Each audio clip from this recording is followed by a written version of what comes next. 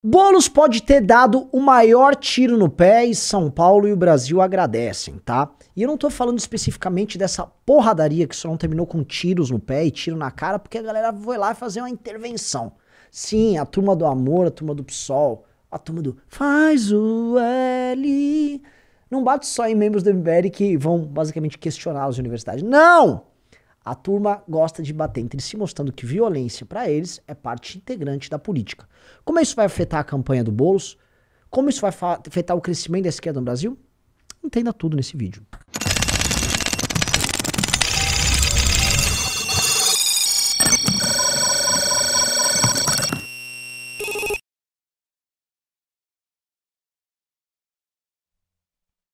Galera, presta atenção. Congresso do MBL, o maior evento político do ano, disparado. Os ingressos estão acabando comum também, então compra logo o teu. Se você tem qualquer dificuldade, entra nesse link mbl.org.br barra VC no Congresso. A gente vai ajudar você aí. É apenas se inscrever e você estará lá conosco. Pois bem, meus amigos e minhas amigas, vamos falar aí o drama sobre Guilherme Boulos. Hoje está acontecendo em São Paulo mais uma daquelas deliciosas greves envolvendo servidores ligados a transporte. Aquela greve que o paulistano, que já tem uma vida muito dura, muito difícil, adora.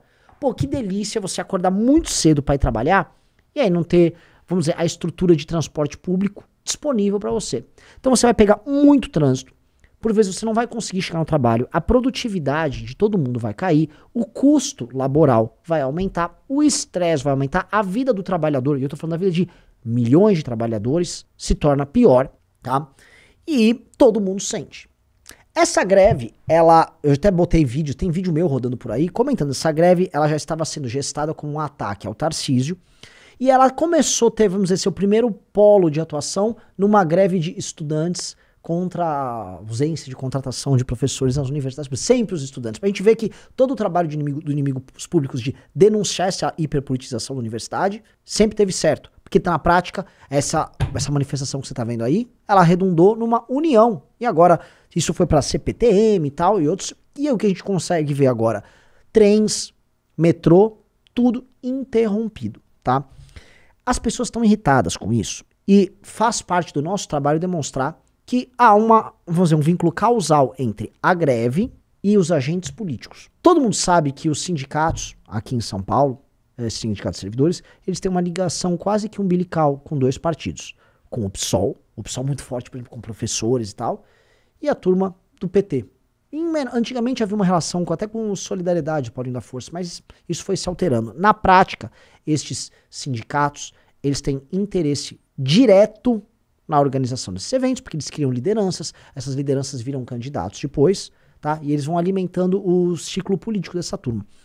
E aí o Boulos, que é o candidato dessa turma, tá tendo que lidar com um ônus, e você precisa, inclusive divulgue esse vídeo, por favor, especialmente se for de São Paulo, de demonstrar para São Paulo que estas pessoas que geram esse problema, esse inconveniente para os paulistanos, são ligados ao grupo político dele, tá? Então, nós vamos fazer isso, só que, vamos dizer, já tem gente na imprensa tratando disso, e eu acho que isso vai viralizar e vai atrapalhar a construção da candidatura dele. Mais do que isso, se houver um candidato inteligente enfrentando ele num debate, como por exemplo o Kim Kataguiri, verdades serão então jogadas na cara do nosso Guilherme Boulos, o nosso playboy favorito da esquerda brasileira, tá?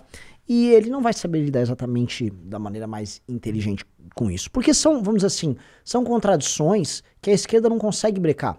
Esse cara se propõe a ser um administrador do bem-estar e da vida dos paulistanos, ao mesmo tempo que o grupo político dele inferniza a vida dos paulistanos. Essa correlação não será esquecida, será jogada na cara. E não só isso, tá? Por exemplo, o senhor Guilherme Boulos vem de um movimento de moradia, tá? Que por mais que não seja o MST, ele pratica ações similares ao MST. Nós estamos vendo agora, por exemplo, essa onda de invasões no campo, tocados por uma agenda, por exemplo, a agenda agora do marco temporal, uma agenda contrária ao marco temporal, que está irritando o agro, irritando os brasileiros. O Guilherme Boulos é diretamente interessado na construção desse discurso que faz parte das lutas do grupo político dele. Ele lidera um movimento de moradia que causa bastante drama aqui em São Paulo. É encheção de saco o tempo todo. Ele vai ter que responder por isso. E mais, e esse é um outro elemento, tá? O Guilherme Boulos ele lidera as pesquisas, ele quer fazer uma guinada ao centro, inclusive foi na Jovem Pan ser sabatinado, mas ao mesmo tempo ele lida com um partido político de tendências radicais, que ele quer ter o controle total. Então, nessa tentativa de transformar o PSOL num PT em miniatura e ele, portanto, num Lula em miniatura, o Boulos vai tomando, vamos dizer, controle do PSOL, e isso não está sendo, vamos dizer assim, algo muito leve, muito bacana. Como vocês viram, né, e as imagens estão aí, PSOL, houve uma briga no congresso agora do PSOL. O congresso do PSOL não é um evento legal, então é um evento basicamente onde a galera foi se matar por ocupação de cargos dentro da estrutura deles. E havia o grupo político da Sâmia Bonfim, que é um grupo, vamos dizer, mais esquerda para valer, e o grupo do Bolos, que não é que ele é menos esquerda, o grupo do Boulos é mais Boulos. O Boulos está fazendo, está construindo, vamos dizer assim, uma espécie de campo majoritário dentro do PSOL, ligado a ele. Então ele está botando lideranças, uh, vamos dizer, que obedeçam ao projeto específico dele. E aí ele vai tomando o controle político partidário, não sem luta, não sem briga, não sem drama. E isso vai gerar externalidades. Para vencer essa eleição para prefeito, que ele considera fundamental, o PSOL vai ter que fazer inúmeras alianças e vai ter que adotar inúmeras práticas. Recentemente, ele contratou o marqueteiro do Dória para fazer uma campanha mais light. Olha, é o Boulos light, é um Boulos um pouco mais leve. Não acho que vai dar certo, tá? Eu acho que o paulistano ainda tá muito machucado com o Bolsonaro. O Bolsonaro perdeu a eleição pro Lula e o público de São Paulo, que é um público que não é um público do interior, para ser mais claro, é um público que cujas pautas progressistas chegaram a se estabeleceram com mais força, inclusive com eleitores não necessariamente petistas, aquele discurso do Bolsonaro não colou muito e muita gente sofreu na pandemia. São Paulo é uma cidade mais densa, logo mais pessoas são infectadas, logo pressão maior sobre o sistema de saúde, mesmo tendo tido, tido uma infra suficiente para atender as pessoas na época da pandemia. Logo, aquilo que aconteceu na pandemia, vamos dizer, gerou externalidades eleitorais para o campo da direita, facilitando o estabelecimento da esquerda, tá? Então Lula ganhou, o Bolsonaro lidera aqui, mas eu acho que com uma campanha as pessoas vão perceber que elas estão lidando, lidando com, com um radical, tá? Então o Boulos terá esses problemas e o Boulos vai ter que lidar com isso. Agora, o inferno que o grupo político dele trouxe para São Paulo é um inferno que não pode ser ignorado, tá? Nesse instante, nesse instante, milhões, e eu tô falando uma coisa dos milhões, de paulistanos não estão conseguindo chegar no trabalho, tá? Nesse instante, as pessoas sabem que elas não vão conseguir encontrar suas famílias, famílias não vão se encontrar para jantar, para comer, para conversar, vão ter que ficar um tempo dentro de um ônibus, o gente vai ter que pegar Uber e Uber já tá caro. Ou seja, o inferno está sendo tocado. E mais, as pessoas que ainda vão depender de transportes mais alternativos como Uber para se locomover, estão lidando com um transporte que, por conta da ação política de grupos como o do Boulos, estão correndo risco de desaparecer por conta dessas ações e por conta da, do discurso do ai, o, o motorista tem que virar CLT, ai, é, essa empresa está apenas explorando eles. Na prática, tá? O buraco que vai tirar o Boulos da vitória é o buraco cavado pelo próprio Sol. E o Boulos só precisa de uma coisa, de uma figura que gera mais problemas do que ele na vida do paulistano para poder vencer, que é o Ricardo Nunes, o atual prefeito.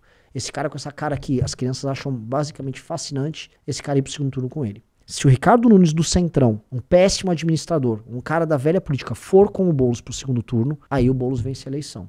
É com tudo isso que ele conta. E é por isso que é apenas um homem, um samurai, que você pode contar para impedir o desastre. Esse foi o meu recado. Beijo e abraço para todos vocês. Mais de 10 mil pessoas em sete edições. Os maiores nomes da política brasileira reunidos em um só lugar. Aulas com os principais intelectuais da direita no país. Debates, congresso simulado, atividades criativas, a maior e mais completa imersão na política que você pode ter vindos de todo o país, caravanas de militantes e apoiadores. O Congresso Nacional é mais que um evento de política, é uma experiência. Quer saber o destino do MBL em 2024? Garanta já o seu ingresso. Vagas limitadas. www.mbl.org.br/congresso